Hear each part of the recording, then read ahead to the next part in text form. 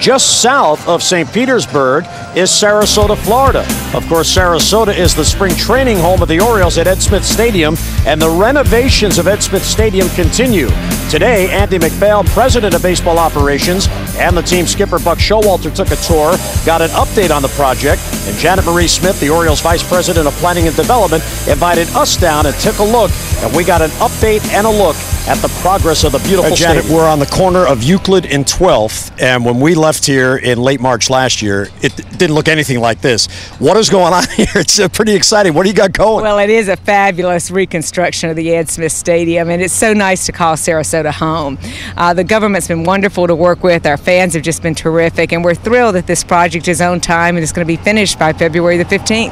All right, what about some of the amenities? Because obviously this is uh, beyond a shell of what it used to be. What have you added here? Well, we've added a lot of square footage to the building and given it a whole new face. We're trying very hard to listen to what our fans said, which is we want more shade, we want more um, ability to use the site. We don't just want to sit in the sun. So we've added two two levels of concourse, all new concessions, double the number of restrooms that are here, done things that are environmentally correct, such as using reclaimed water for the toilets. Uh, we've got a concourse that lines up with the back of the grandstand, so you can stand anywhere along the playing field and watch the game. That's the standing room area with a bar stool. There are places for wheelchairs. One of the things that Peter Angelos wanted us to do was to incorporate a lot of elevators in this building, recognizing that our fan base is older. We want to make it easier for them to get to this shade. So we have an unprecedented four elevators in our spring training facility. Um, the stair towers and the elevators give it some architectural prominence, which gives it a nice presence on the street. It is Florida, so we've done all we could do to preserve the landscaping. Some of the trees on this site are over 100 years old. We've kept all of those, added to them. Um, and basically, what we tried to do is to take the infrastructure that was already here and just add to it.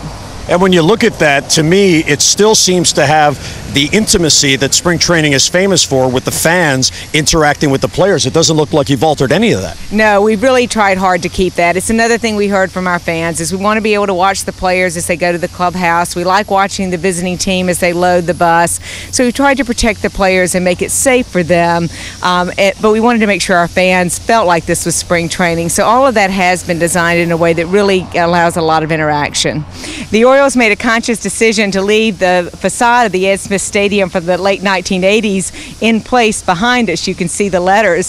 So when you ask what's new and what's old, it's pretty obvious. The 30,000 square feet that we're standing on now is the new, and behind us is the old. We left it all in place because it made very good sense from a financial perspective, from an environmental perspective, and we were able to build this park in almost half the time because there was so much here to work with already. We're standing here at the grandstand at the Ed Smith Stadium. The grandstand seats will continue back so that the concourse behind us will continue about 20 feet um, further toward the street.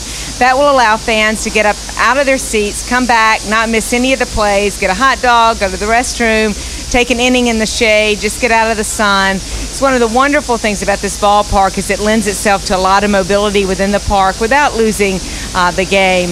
We've added concessions here, we've added restrooms. We're bringing the seats from Camden Yards south, a little bit of Baltimore to Sarasota, and those will be installed this off season.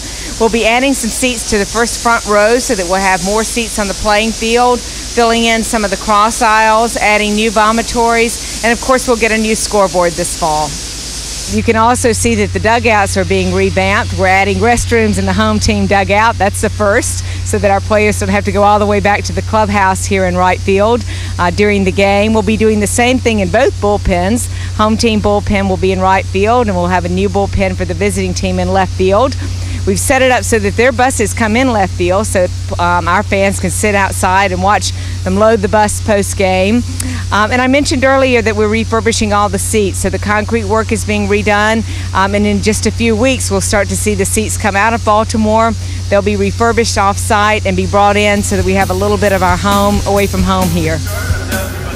So the renovations continue, and as you can see, the shell is growing around what was the original structure. And when the Orioles head for spring training next year for 2011, it will be a pristine, state of the art facility as Andy MacPhail and Buck Showalter will run their 2011 spring training.